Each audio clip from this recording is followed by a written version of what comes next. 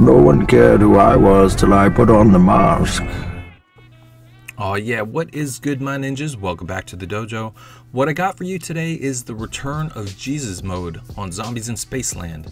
Now this will give you unlimited self-revives and is relatively easy to do. Now for this one we're going to use the Ghost and Skulls machine to glitch us out. Now this is not a brand new method, this has been out for a while and big shout out to Hacker Elite for originally finding this one. So before the Skull Hacker fortune card got implemented, you had to do all the Spaceland Easter egg steps to even get in the Ghost and Skulls machine.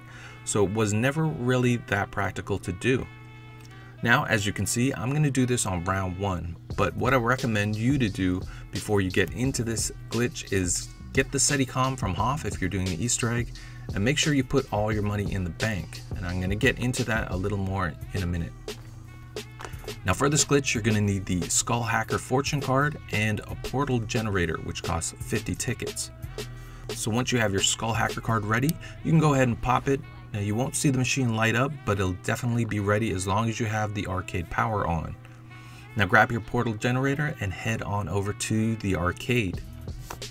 Now what you want to do is belly on up to the Ghost and Skulls machine and turn around and aim for the red moon on the carpet like I do here. Then you're going to throw down your portal generator.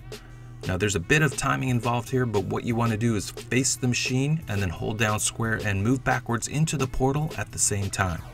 Now if you've done it correctly, your screen will be glitched out like you see here as if you are still inside the Ghost and Skulls machine, and you're going to be holding the entangler in your hand. Now at this point there'll be no zombies on the map so you don't have to worry about getting hit. Now head on back over to the arcade and stand in front of the Zombie Zoom water pistol game and wait till the three skulls escape.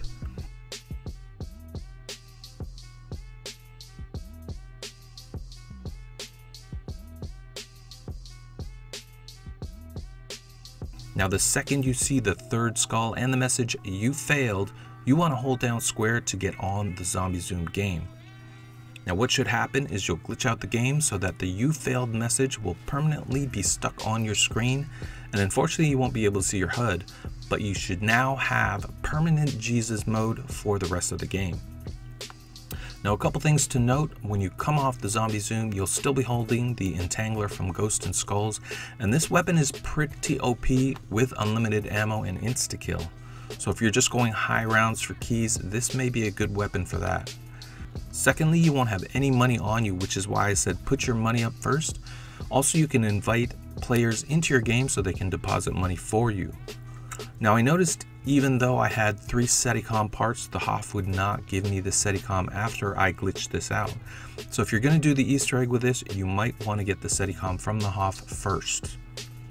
Now so far this is only working on this map right now, but Shortbus Rejects and I have been working on something for all maps and have been able to get Jesus mode on all maps, but at this time it is not permanent yet. So stay tuned for that. Anyways, I hope you guys have fun with this. Until the next one, Sliq Killa saying peace out.